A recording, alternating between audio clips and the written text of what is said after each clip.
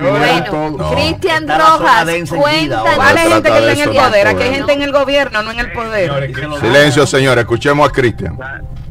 Saludos, saludos allá en el panel y saludos a toda la audiencia de tu mañana. Eh, bueno, felicitar a los campeones. Ahí escuché que eh, el, el Licey tiene la mejor, la mayor fanaticada, pero yo creo que está en un error porque ayer el Frente Patriótico. Cristian, de partido a partido, no con alianza. Individual. Yo soy Toro Lucha, buena esa de Frente Patriótico. Dale, Cristian. Entrando en materia, entrando en materia, eh, primero felicitar a la Liga Dominicana de Béisbol porque culmina un torneo exitoso de principio a fin, una primera etapa de serie regular, donde se tuvo que esperar el último día para saber los clasificados al round robin. Y entonces en el round robin eh, un round robin histórico donde por primera vez se tuvo que jugar 20 partidos también eh, por primera vez eh, se tuvo que jugar dos juegos extras para pasar a la final. Y entonces en esta final exitosísimo también se va a 8 y ganó el que tenía que ganar el mejor equipo que los Toros del Este a los cuales también hay que felicitar crédito a la gerencia de arriba abajo a sus jugadores al cuerpo de coaches porque son el equipo que mejor ha hecho la actividad de gerenciar en los últimos dos años. Y son, el equipo, son el equipo que más han aprendido y que más se han adaptado a la situación que se vive en la Liga Dominicana y en la del Caribe hoy en día. Fue un equipo que aprendió de los errores del año pasado, donde en la final se quedaron prácticamente sin, sin varias piezas importantísimas en el plantel e hicieron énfasis este año en algo que no se ve muy a menudo y que es casi imposible eh, tener en la Liga Dominicana, que es una estabilidad. Este plantel de los toros tiene el 90% de los jugadores que estaban en la regular a principio de la temporada, que estuvieron en el round robin y que estuvieron entonces en esta serie final y que fueron factores clave. La rotación de, los toros, a excepción de Freddy Peralta, que fue parado por su equipo en Grandes Ligas, los cerveceros de Milwaukee, está como el primer día. Jugadores que vinieron vía cambio eh, desde hace varios años o desde el año pasado que fueron importantes este año el caso de Rubén Sosa que viene eh, de los toros, el caso de Jordani Valdespín que lo consiguen desde las estrellas. Entonces también... Rubén Sosa viene del escogido. ¿Eh? Recuerda que Rubén Sosa pasó del Licey al escogido y le escogido a los toros. Exactamente. Va del Licey en el escogido el jugador más valioso, incluso los leones salen de él y entonces los toros que son los que se quedan con él. Y a Michael Navarro, un jugador importantísimo que lo traen vía cambio de los Tigres del Licey el año pasado. Entonces, eh, la gerencia a nivel de contratación trae a Peter O'Brien, trae a cuatro lanzadores veteranos que no tenían que rendir cuenta a ningún equipo de grandes ligas y por eso hablo de la estabilidad. Y entonces también a la hora de seleccionar en el draft, seleccionan a Junior Ley como primer pick, un jugador eh, que está aprobado en la liga. el mejor pelotero de esta liga. bueno, el mejor pelotero a mi entender es Jordani Valdespín, pero Junior Ley está entre los primeros tres, eh, entre los tres mejores peloteros de la liga. También eh, Ramón Ramírez, una selección que le llegó en la cuarta ronda y que ellos no quisieron desaprovechar, se convirtió en el cerrador del equipo. Y entonces eh, varios jugadores, Junior Quimaya, que fue importantísimo en esta final. O sea que la gerencia eh, tiene el nombre por todos lados de este campeonato. Y, que entonces han construido también un núcleo. Que no se te quede Jamer Candelario, tercera base titular de los Tigres de Detroit. Exacto. Lo que tú dijiste también es otro jugador. Es otro jugador que llegó vía cambio. Jamer Candelario viene eh, vía Águilas Cibaeñas. O sea ellos han hecho un trabajo. Ellos han hecho un trabajo de desarrollo y de reclutamiento increíble. Ha sido la mejor gerencia en los últimos años y entonces ahí están los frutos.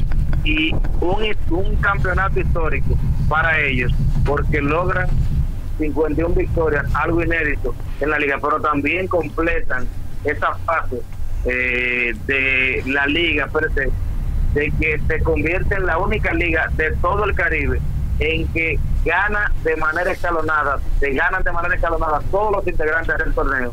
Si vemos, y esto es crédito a la, Lidón y al a instaurar el draft de novatos, que fue instaurado en el 2002 y que ahora es que está rendiendo esos frutos. Si nos vamos a los últimos seis años, han ganado eh, equipos diferentes. Cuando nos vamos a la última década, los Leones han ganado cuatro, los Tigres y los Tigres dos y todos los otros equipos uno. Y entonces en los últimos 20 años vemos cómo las Águilas y Licey han dominado con seis campeonatos cada uno. Y miren cómo, mientras pasan los años, más competitivos se ve el torneo. Y eso es gracias a la instauración del draft de novatos. Hay que también felicitar a los Tigres porque fueron un digno rival. y los Tigres van, van a esta temporada muerta con interrogantes que resolver. Es cierto. Sí, porque tienen tres temporadas consecutivas perdiendo en la final. Eh, no, ellos perdiendo, no dándole un chance a los fanáticos de otros la final del año pasado fue Estrellas y Toros. Ah, la anterior, sí, ellos fueron a la, sí fueron a la ¿Qué que pasa aquí con el final con las Águilas Cibaeñas y también cayeron. O sea, ellos han caído en sus últimas dos asistencias a la final. Exacto, Pero Cristian. el Licey tiene, el Licey tiene interrogantes, va a la temporada muerta con interrogantes, porque hay peloteros que a mi entender ya cumplieron su ciclo y ya ellos tienen que tratar de renovar, por ejemplo, el caso de Juan Francisco, líder histórico en cuadrangular, espero que ya eh, como que ha cumplido un ciclo con los Tigres.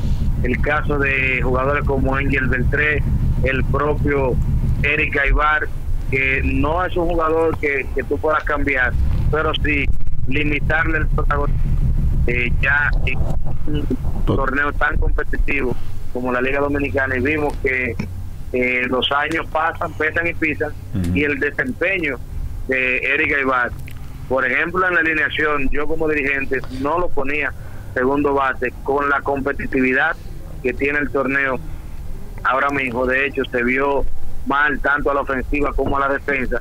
Hay que eh, entender que el tiempo pasa.